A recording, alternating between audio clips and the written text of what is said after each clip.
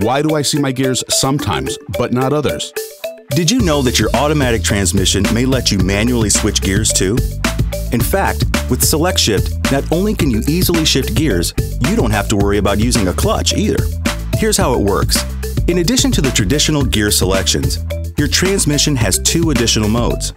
Progressive range selection that lets you lock out upper gears when the truck is heavily loaded or when towing on grades, and manual that lets you manually select gears. With your gear shift lever in D, press the minus button to activate progressive range selection. When you do, you'll see the available gears, as well as the current gear indicated on the instrument cluster.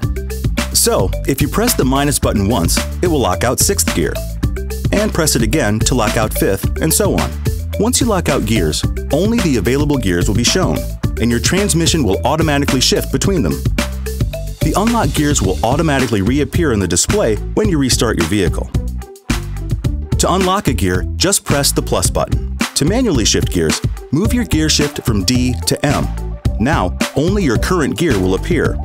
And you can use the plus button to upshift and the minus to downshift. Keep in mind, even though you're manually changing gears, Select Shift will prevent some shifts if your engine speed is too high or if your RPMs are too low.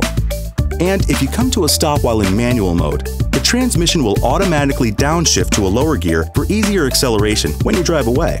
Any questions? Go to FordOwner.com.